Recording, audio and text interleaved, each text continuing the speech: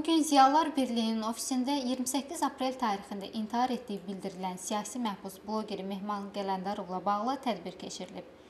Tədbirdə çıxış edən şəxslərin ortaq fikirləri belə olub ki, onun ölümü intihar deyil, belə ki, Mehman Gələndarovu tez aparıb dəfn olunması cinayətin gizlənməsinə hesablanıb. Hazırda Hollandiyada mühacir həyatı yaşayan Sülh və Demokratiya İnstitutunun rəhbəri Leyla Yunus tədbirə Skype-la qoşularaq bildirib ki, o baş vermiş hadisə ilə bağlı Avropa Parlamentinə və ABŞ Dövlət Departamentinə hesabat göndərib. Və mən özüm də həbsxana həyatı yaşamışam. Həbsxanada intihar etmək qeyri-mümkündür. Nədən? İstər təzyiqxana olsun, istərsə də təzyiqxanadan sonra ə, koloniya sistemində daimi nəzarət var. Burada bir neçə faktda diqqət yetirmək lazımdır. Bir, həmin kameraların özündə tək adamlıq kamera yoxdur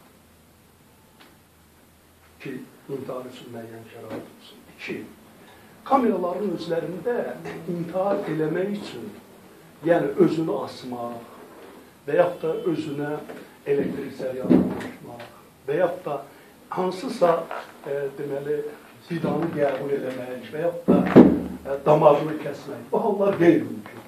Bu qədər ciddi şəkildə dünyaya çatdırmalıyıq ki, artıq Azərbaycanda Azərbaycan hakimiyyətinin siyasi rəqiblərini artıq qətlə yetirildiyi məsələsi gündəmə gəlsin.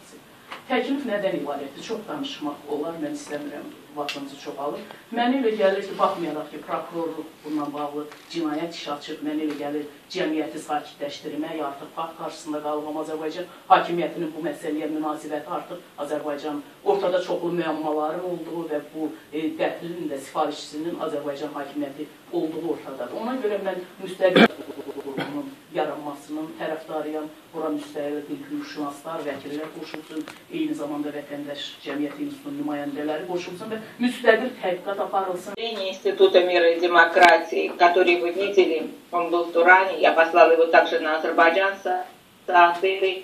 Этот текст переведен на английский язык, и сегодня с утра его уже получили руководители различных групп Европарламента, заместитель председателя Европарламента,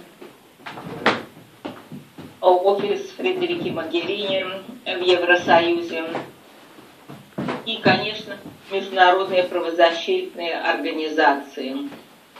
Я должна сказать, что мы смогли восстановить работу Института мира и демократии в Европе. И в настоящее время я подписываю вместе с другими международными организациями, вот мы сделали документ, меня пришел английский вариант, только он есть, о пытках в отношении политзаключенных,